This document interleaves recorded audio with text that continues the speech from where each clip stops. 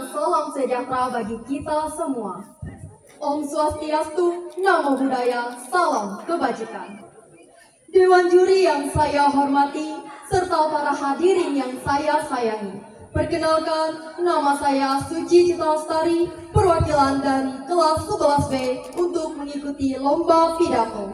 Saya membawakan pidato dengan judul Stop Bullying. Saudara-saudari, salah satu permasalahan yang cukup serius dan perlu ditangani tingkat lanjut di Indonesia, bahkan di dunia, yaitu bullying. Bullying adalah tindakan yang dilakukan oleh seorang atau kelompok yang lebih kuat kepada seseorang yang dianggap lebih lemah. Bullying dapat terjadi di mana saja, termasuk di lingkungan sekolah. Katanya, bullying ada Katanya, sekolah adalah rumah karakter. Tapi mengapa kasus bullying kerap terjadi di lingkungan pendidikan? Bahkan di zaman sekarang, bullying dianggap hal yang sepele dan sudah biasa terjadi di lingkungan sekolah. Ada beberapa hal yang menjadi alasan seorang melakukan bullying. Yang pertama, ingin mendapatkan perhatian yang lebih dari lingkungan sekitarnya. Yang kedua, ingin mengambil kendali dan dianggap yang paling berkuasa. Dan yang ketiga adalah pengaruh dari keluarga broken home. Saudara-saudari, bullying dapat berupa kekerasan fisik, verbal, atau sosial. Berarti, bullying tidak hanya berupa pukulan, tapi bisa saja berupa ucapan secara tidak sengaja ataupun disengaja. Salah satu contoh tindakan bullying yaitu body shaming.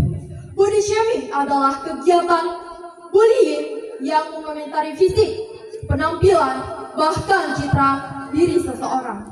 Mungkin bagi seorang yang melakukan body shaming menganggap diri mereka lebih baik dari orang lain. Padahal Tuhan menciptakan kita semua dengan berbagai kelebihan dan kekurangannya masing-masing. Saudara-saudari yang saya sayangi, masih banyak sekali berbagai macam tindakan bullying lainnya seperti pemalaka, mengejek, menyindir, menghina, bahkan mengucilkan orang lain termasuk tindakan bullying. Setiap orang menghadapi bullying dengan cara yang berbeda. Ada yang tak terusik, namun ada juga yang terganggu. Ada yang menderita sampai depresi berkepanjangan dan sampai bunuh diri. Bayangkan jika dirimu terjebak dalam badai setiap hari. Angin kencang ejekan, hujan deras hinaan, kilatan petir ancaman. Itulah yang dirasakan oleh korban bullying.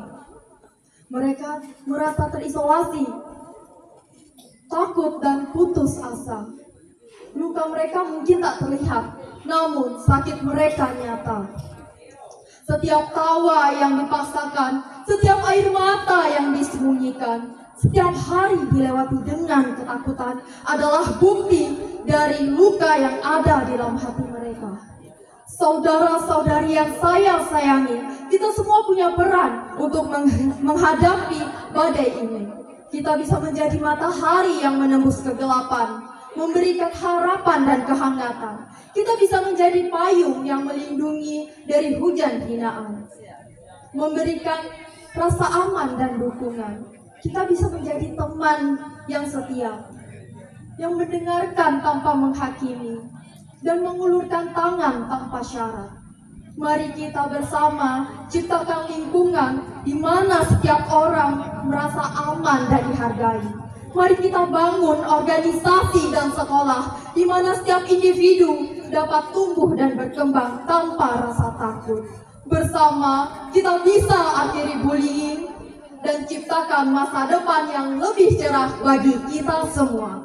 Sekian pidato dari saya. Terima kasih atas perhatiannya dan mohon maaf jika ada kata-kata yang kurang berkenan di hati. Akhir kata, wabillahi taufiq wal hidayah. Wassalamualaikum warahmatullahi wabarakatuh. Selamat pagi dan salam sejahtera bagi kita semua. Om Swastiastu, Namo Buddhaya, salam kebajikan.